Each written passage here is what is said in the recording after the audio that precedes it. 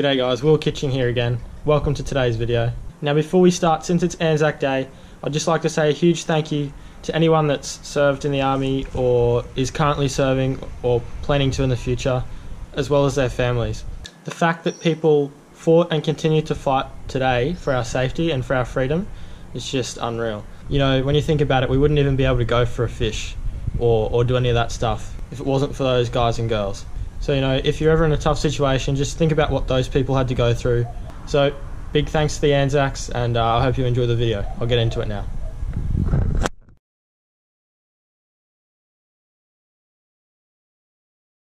G'day guys, how you doing? Will Kitching here again.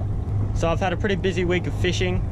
Can't complain. Had some epic catches, there's some epic videos coming your way. But today I thought I'd take a more relaxing approach and come out on the sandbanks here, up on the sand flats, try and get some whiting, flathead even, maybe a bream on surface. Simple one rod, one reel today, that's it, that's all I've brought. Shimano Nexave 1000, little Savage Gear stick bait.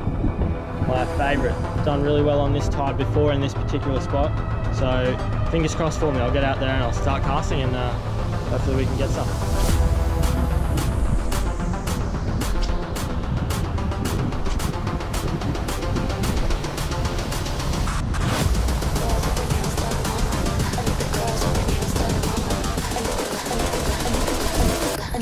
With their nails done now. Got one.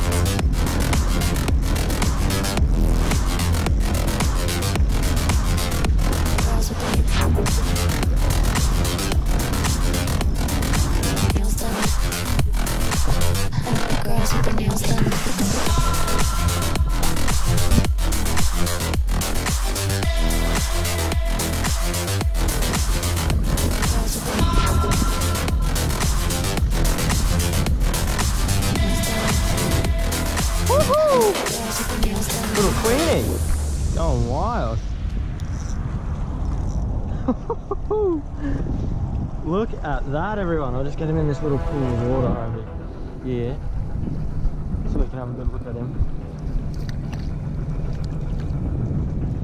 Wow, how cool. He smacked it. Wow, that's awesome. Little Queenie.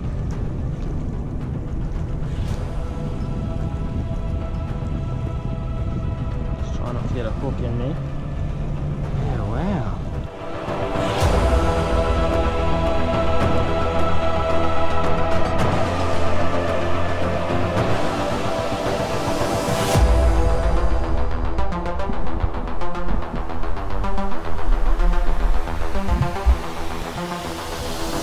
Well, wow, how awesome was that? Literally probably five minutes in and a little queenie came up and smacked it. So that was heaps of fun. I just let it go then. All right, now we'll try and get a whiting, but how awesome is that? Absolutely smacked it.